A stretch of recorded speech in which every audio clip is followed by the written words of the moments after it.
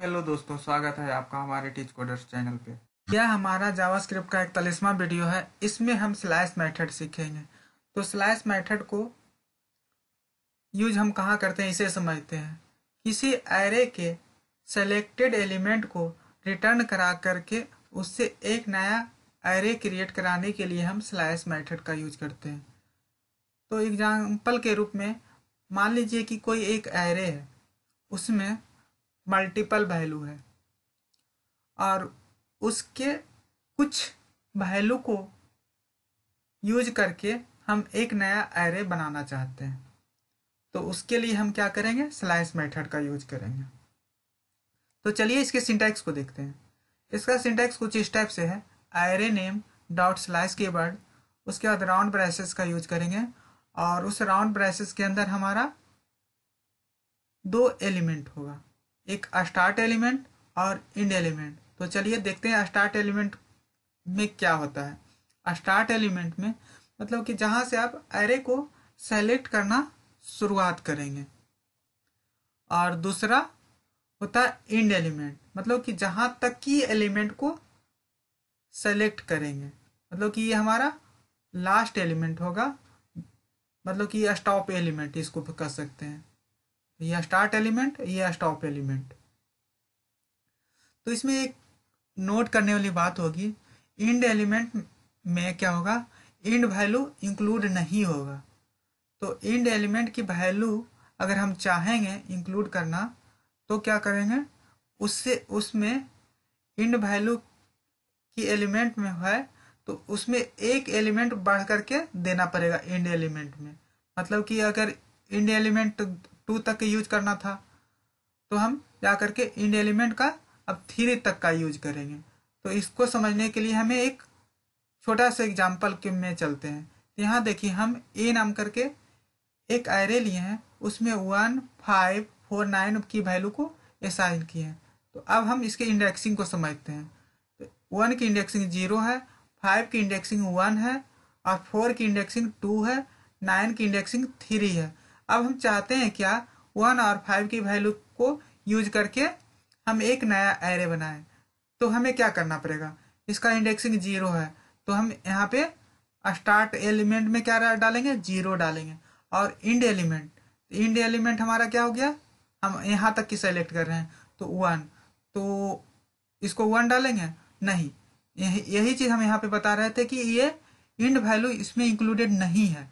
तो इसमें एक बढ़ करके यूज़ करना पड़ेगा। तब हम यहाँ तक का यूज़ करेंगे। तो ज़ीरो यहाँ पे रखे थे और यहाँ पे हम क्या डालेंगे? टू डालेंगे। वन नहीं डालेंगे टू डालेंगे। मतलब एक बढ़ करके डालेंगे।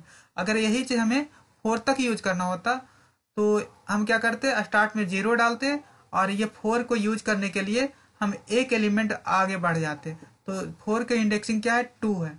तो हम यहाँ पे एक आगे बढ़ जाएँगे तो ये थ्री हो जाएगा।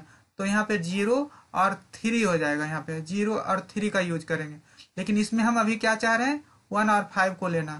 तो ज़ीरो को यूज़ करेंगे और टू को यूज़ करेंगे। तो यहाँ पे देखिए, इसका एरे का नाम क्या था? ए था।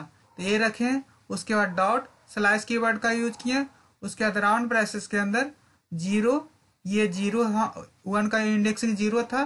तो ज़ीरो और फाइव का इंडेक्सिंग वन था, लेकिन हमको एक बढ़ करके लेना है। तो इसमें जा करके टू रख दिए तो चलिए अब इसका प्रैक्टिकल करके देखते हैं। तो यहाँ पे हमने एस्टिमल डॉक्यूमेंट के अंदर स्क्रिप्ट टाइप का यूज़ किया है। इसी स्क्रिप्ट टाइप के अंदर हम स्लाइस मेथड का प्रैक्टिस करेंगे। तो स्लाइस मेथड को प्रैक्टिस करने के लिए हमें एक एरे की ज़रूरत होती है।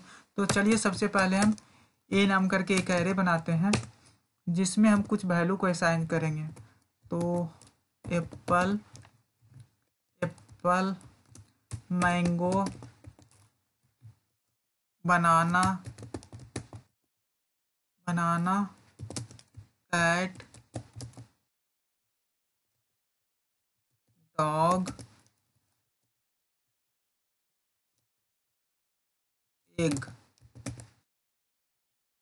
तो यहाँ पे देखिए हम ए नाम करके एक एरे बना लिए हैं, जिसमें apple mango banana cat dog egg रख लिए एक को नहीं, यहाँ पे एलिफेंट कर देते हैं। ऐसे आप रख भी सकते हैं, लेकिन हम एलिफेंट कर रहे हैं। इसलिए क्योंकि ये तीन हमारा फ्रूट होगा, तीन हमारा एनिमल्स का नाम है। इसलिए हम रखें अब हम क्या करेंगे? हम एप्पल मैंगो बनाना की वैल्यू को यूज़ करके एक नया एरे क्रिएट करेंगे। तो चलिए, क्योंकि हम जानते हैं कि एप्पल मैंगो बनाना फ्रूट है, इसलिए हम फ्रूट ना के एक वेरिएबल लेंगे। आप ये कुछ भी रख सकते हैं, ऐसा नहीं कि आप फ्रूट ही रखें, लेकिन हम इसमें फ्रूट रखेंगे। भैर भैर फ्रूट इजकल टू, इसमें हम क्या करेंगे? हमारा एरे का नाम क्या है? ए तो ए रखेंगे, उसके बाद डॉट स्लाइस डॉट स्लाइस इसमें हमारा कितने एलिमेंट होगा? दो एलिमेंट होगा। तो एक पहला क्या होता है? जहाँ से हम शुरुआत करते हैं। तो शुरुआत कहाँ से कर रहे हैं? तो वो एप्पल से। तो एप्पल का इंडेक्सिंग क्या होगा? तो ज़ीरो एप्पल का इंडेक्सिंग ज़ीरो ओके तो ज़ीरो डाल दिए। उसके बाद हम बनाना तक यूज़ करना चाह रहे हैं। तो ज़ीरो वन टू तो यहाँ पे हम टू डालेंगे।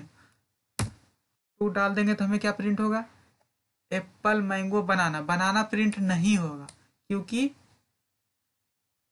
जहाँ पे भी ये लास्ट एलिमेंट डालेंगे तो लास्ट एलिमेंट की वैल्यू इंक्लूड इसमें नहीं होता है। तो इसको यूज़ करने के लिए हमें एक इंडेक्सिंग आगे की ओर चलना पड़ेगा। तो यहाँ यहाँ तक चलते तो हमें बनाना प्रिंट भी करके देता। तो अभी हम फ़िलहाल इसी को रखने देते हैं। उसके बाद दिखाते हैं आपको कि क्या प्रिंट करेगा। डॉक्यूमेंट डॉट राइट ओके, अब फ्रूट फ्रूट कर लिया। अभी क्या प्रिंट होगा देखिए एप्पल और मैंगो प्रिंट होगा। देख लीजिए एप्पल और मैंगो प्रिंट हुआ। हमें चाहिए बनाना तक की वैल्यू तो एक बढ़ करके तो यहाँ से देखिए ज़ीरो वन टू थ्री हाँ इंडेक्सिंग इसका क्या हो जाएगा? थ्री हो जाएगा तो हमें बनाना प्रिंट करके देगा। देखिए बनाना प्रिंट करके दिया। बात कर तो इसको भी, इसकी भी वैल्यू चाहिए। तो हमें क्या करना पड़ेगा? ज़ीरो, वन, टू, थ्री और इसको फोर। कैट तक की वैल्यू चाहिए तो हमें फोर करना चाहिए, फोर करना पड़ेगा, ओके? अब हम देखिए, अब हम चाहते हैं कि कैट और डॉग की वैल्यू हमें मिल जाए तो हमें क्या करना पड़ेगा? तो फिर से काउंटिंग करते हैं, zero, one, two, three. Cat की इंडेक्सिंग क्या है? थ्री है। तो यहाँ पे हम क्या डाल देंगे? थ्री डाल देंगे, ओके? और ये डॉग की इंडेक्सिंग तो फिर से एक बार कर लीजिए। Zero, one, two, three, four. ये फोर हो जाएगा। अब देखिए। तो इसमें कैट और डॉग नहीं प्रिंट करेगा, सिर्फ़ कैट प्रिंट करेगा। ये देख लीजिए। देखिए, जो कि हम पहले बता चुके हैं। तो यहाँ पे हमें क्या करना पड़ेगा? फोर नहीं करके फाइव करना पड़ेगा यहाँ पे। देखिए। यहाँ पे डॉग भी अब प्रिंट हो गया। अगर हम चाहते हैं कि कैट के बाद से हमें एलिफेंट तक प्रिंट हो तो हम क्या करेंगे? अब इसके आगे तो कोई हमारा आ, कोई एलिमेंट है ही नहीं तो आगे बढ़ करके कैसे यूज़ करेंगे? अब तो सवाल यहाँ पे ये उठता है तो सिंपल ही क्या है? जहाँ से स्टार्टिंग देंगे उसके बाद आगे के सारे वैल्यू अगर आपको चाहिए तो ये हटा दीजिए। आपके सारे वैल्यू मिल जाएगा देखिए। कैट डॉग एलिफेंट जैसे मान लीजिए कि मैंगो से आपको सारा वैल्यू चाहिए था। तो ज़ीरो वन तो यहाँ पे हम वन रख देते वन के बाद मैंगो से लेकर के सारे वैल्यू प्रिंट हो जाएगा। देखिए mango banana cat dog elephant सारे प्रिंट हो गया। Mango banana cat dog elephant okay अगर टॉपिक से रिलेटेड कोई क्वेश्चन हो तो कमेंट बॉक्स में अपना कमेंट डालिएगा। मुझे उम्मीद है कि यह वीडियो आपको अच्छा लगा होगा। अगर अच्छा लगा वीडियो तो लाइक कीजिएगा, शेयर कीजिएगा। मिलते हैं नेक्स्ट वीडियो में। तब तक के लिए धन्यवाद।